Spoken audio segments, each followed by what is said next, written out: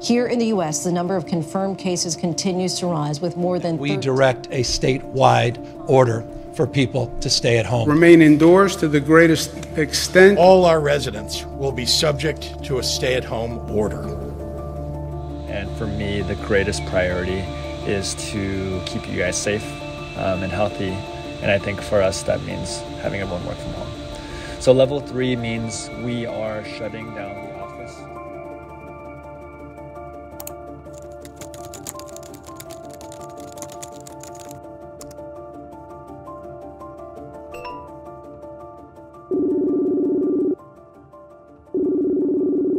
Hey, how's it going? Pretty good. How you doing? I'm good. I'm good. They're just gonna have some questions for you. So if it's something you don't feel like you can answer, that's totally fine. Yeah, I mean, I'm, I, I'll, not- I, I won't make stuff up. Totally. this, this is too important to you know make shit up. You know. My name is Jeffrey Swisher, uh, MD. I am an anesthesiologist uh, and chairman of the Department of Anesthesiology at California Pacific Medical Center in San Francisco, California. Hello. Hi. Hi, doctor. Dr. Swisher, how you doing? Good. I'm fine. How you doing? Nice to meet you, Dr. Swisher. I guess get straight to the questions for you. Absolutely. In comparison to past outbreaks, how long do you think this pandemic will last for? Uh, that's a good question. I think probably this is going to last for at least through November, uh, just based upon data from Oh, Wuhan. November. Yeah, I know. Unfortunately, Would that be until like the cure is found, or is there a point where we can be able to go back into society? I think it depends on the rate of infection in the community that you live. If you're talking about a vaccine, we're not going to see a vaccine for maybe more like 18 months. Uh, we're still very early on on the up peak of this right now. We're not at the downside. So I, I think we're going to be isolated for quite a while. What would you say to those who still say, you know, this, this is just a flu or the media is being alarmist? Yeah, the media is not being alarmist. We, we have not been hit with the, the surge that uh, Italy has seen. We're about two weeks behind that. Uh, but if you look at the rates, uh, the rate of uh, infections and also the rate, the mortality rate, we're tracking it at the same rate and maybe even a little bit higher than Italy is right now. If you look at the number of worldwide deaths now, we're starting to approach 10,000. Uh, that's a lot. And again, we're in the early stages of it in the rest of the world. So there's a very good possibility that we're going to be seeing, you know, upwards of millions of deaths from this. That's not the flu. My dad is a flight attendant for United, Uh-huh. and he, he's 66, and he's still flying internationally, and I can't convince him to stop. Yeah, yeah.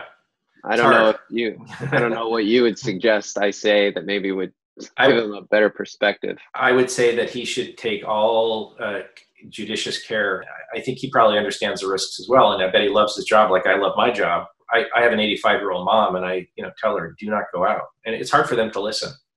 So I'm thinking about the food supply and Mhm. maintaining that. The people who work in the grocery store, they, Uh, yeah, they have no protection. And in some ways, I wonder if they should close to the public and just employ shoppers who bring stuff out to your car. any mechanism that allows people to distance themselves to decrease, like you said, the surge. That's the important thing. I mean, ultimately, this is a virus. It's a very virulent virus. Most everybody's going to get exposed to it. Hopefully, we'll get immunity. The hard part in this country is that we haven't had a screening test. So, not knowing the denominator, in other words, how many people are infected, makes it a little difficult to predict. I know healthcare professionals all over the world right now are working long and arduous hours, and it's only going to increase as more and more cases come out. You're right. We're, we're working really long hours. And I think uh, if you look at some of the Chinese doctors uh, that were in Wuhan, I was just on a conference call on Monday with uh, 30 of these guys, and they look exhausted. There's no question about it. Yeah. What is like the general morale like of people like yourself and your colleagues that are fighting coronavirus on the front lines? As far as the mood goes, I would say um, appropriately concerned um, and a little scared, um, and uh, you know want to protect ourselves from getting sick ourselves, and definitely want to protect our families from getting sick from us. Now, most doctors, nurses, techs, you know, people in the hospital. The reason we're in medicine is because we like helping people, and I think most of us uh, are really willing to do what we need to do to make this go away. Have you seen your casework or like the type of work you're doing change or shift? One of the big things that that we're starting to do in BID is we're repurposing ourselves. And I will have to probably go and staff an intensive care unit, so take care of people on ventilators. And we've taken measures, I would say, in a graded fashion since this whole thing started, to the point right now that we're we're not allowing people to come in with their you know families when they come in for surgery. So a lot of people are going in, you know, pretty scared without any support mechanism. mi ha guardato chiedendo che fine dovesse fare, qual era la sua fine. Io What's been like the most heartbreaking story or experience for you amidst all this? Well, having somebody I know contract this and and, and, and be critically ill in the ICU, uh, who I work with. And um, so when you see someone um, that is my age, I mean, he's otherwise was a healthy person, relatively healthy, uh, now facing the possibility of dying, that really brings it home. In what ways do you think the world will be different after this, especially for the kids of today? Okay. Well, I think this is a, a, a somewhat of a traumatic experience for a lot of people. So I think that it's going to make a mark uh, on a lot of people. Uh, I have a daughter who's a senior in college. Uh, she's my youngest, and she's not having a graduation ceremony because of this. And I think that we have to um, acknowledge that there's a lot of loss. The other issue that's going to be certainly long term is uh, economic. I think that a lot of kids are worried about that right now, uh, college age kids especially. I am worried because I do live with two parents who um, are both getting old. I've heard uh, from the government saying that we're going to have the shutdown until August. And a lot of families now are not having jobs at the moment. So they're not making income. Personally, right now, I just don't think we're going to survive until August because that's just too long. Yeah. So you can go back to things like World War II when everybody really had to collectively give up a lot of things uh, and all work together. And I think that that is sort of where we're at right now. I think when this is all said and done, we're going to look at this as a really seminal event in American history, world history. I feel like we are very individualistic, and it's Yeah, hard to yeah. have a collectivist mindset when it comes to stuff like this. Yeah, but it's it's it's it's it eventually it benefits all of us to be collectivist in this setting, uh, Yeah. and I think it's the hardest thing is to get people to get out of the mindset of of uh, you know uh, about me as opposed to about everybody. How, how are your supplies? Do you have enough masks right now? Are you having to ration masks? No, we don't have enough supplies, and two, yeah, we're having to ration at this point.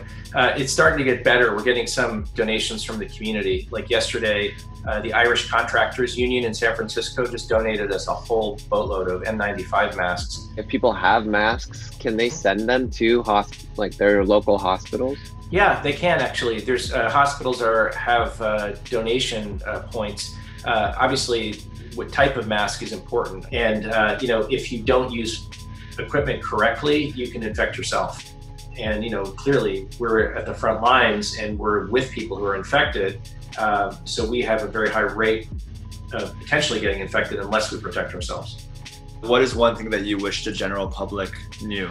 this is not fake news number one this is real and that the m- most important thing you can do is to listen to the advice about social distancing the more we can do that the more we can flatten the curve and decrease the number of cases acutely uh, i don't know overall if they're going to decrease the number of cases but what we don't want is having a surge at the hospitals that overwhelms the resources of the hospital I think this is going to change our society, and I mean, hopefully that we will be more compassionate, that we'll care more about other people. Uh, I think that hopefully the goal is is that we're going to be a better country as a result of it, even though it's going to be hard. I'm not saying it's not going to be hard. It's going to be hard. Awesome. Well, thank you so much for your time and for answering those questions, and also All right. for, for your service. I know it must be a tough time for you. It's tough, yeah. There's no question about it. But I mean, I, I, I'm a pretty optimistic person. I, I'm a glass, you know, half full type person. So I really think that we'll get through this. Awesome. Same. Great. All right. Thank you. Thank you for you know for being on the front line, and thanks for taking the time. I really appreciate it. Thank you. Thanks for doing this. Thank you so much for covering out the time, Doctor. Um, stay safe and thank you. Thank you so much. It was great right. talking to you. All right. You too. Take care. Bye.